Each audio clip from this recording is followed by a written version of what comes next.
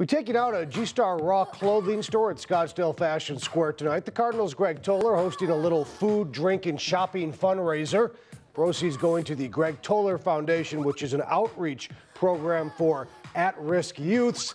Toler's really extending his charitable wings this season.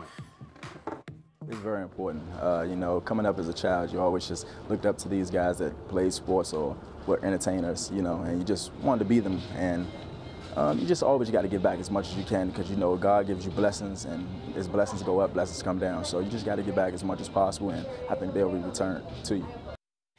Greg Toler, uh, Toler doing a nice job. Remember back in the summertime, he took a bunch of kids to the circus at U.S. Airways well, you Center. guys have so. reported on several of the Cardinals who have great Well, yes, he's not the only one. Yeah. Clearly, Larry Fitzgerald, Kevin Yeah. Kolb, so many of them do those.